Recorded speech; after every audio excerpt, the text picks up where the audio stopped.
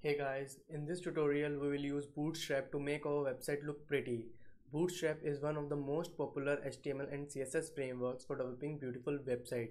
So just go to getbootstrap.com and we will use version 4 which is being the latest version of the Bootstrap in the main website of the bootstrap.com. Just hit the download button appeared here. Bootstrap will allow us to either you can use source files in your computer or you can use bootstrap cdn here the source files are here or you can use bootstrap cdn which is a content delivery network which allows you to deliver cached version of bootstraps compiled css and js to your project. Here is the content that we need to copy and paste in the head section of the post list. View just copy to the copy this to the clipboard and paste it in the HTML file which is the post list.html inside the head tag. Easy enough. Bootstrap cdn just points to files that exist on the internet. So just go ahead and open the website and refresh the page. We'll see there is a change in the page. That means bootstrap is working just fine. The, uh, see the look and feel of the website is now changed now let's talk about the documentation of the bootstrap here. Go to the documentation page. If you go through the documentation you will know how to use the bootstrap or what parts of the bootstrap you will use. You can use uh, you go to the content section. We'll have pre-compiled bootstrap classes like here. And if we go to the layout here we talk about containers containers are the most basic layout element in bootstrap and are required when using our default grid system. See this is the content section then the right navigation bar. We we can use the container class like so. We can use dot container fluid for a full width container spanning the entire width of the viewport like this. There then there are responsive breakouts. If we go to the grid here how grid system is the most powerful mobile first flexible grid to build layouts of all shapes and sizes thanks to a 12 column system 5 default responsive tiers. How it works.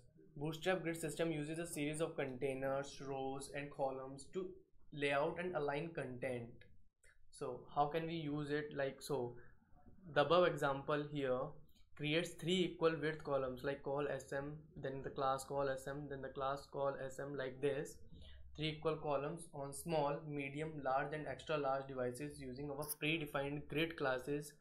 Those columns are centered in the page with the parent dot container class appear here.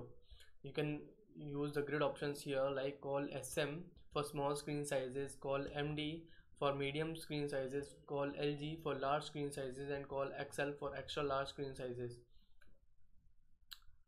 So containers provide to means to center and horizontally pad your site's content. Use dot container for responsive pixel width or dot container fluid for width 100% across all views and ports. Rows are wrappers for columns like here. Are wrappers for columns we have defined here each column has horizontal padding, padding called a gutter for controlling the space between them. In a grid layout, content must, content must be placed within columns and only columns may be immediate children of rows. Then, column classes indicate the number of columns you would like to use out of the possible 12 per row. Each row contains only 12 rows.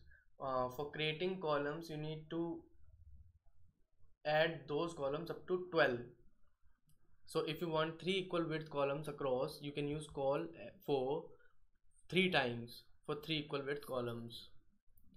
Then if we have a look at the component section of the grid we can use we can have various components can be used in our project like alerts uh, which provides contextual feedback message for typical user actions with the handful of available and flexible alert messages like this this is a primary alert.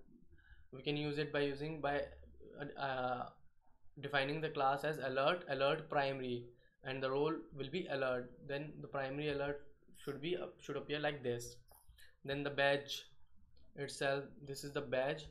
Documentation examples for badges uh, badges scales to match the size of an immediate parent element by using relative font sizing and em units.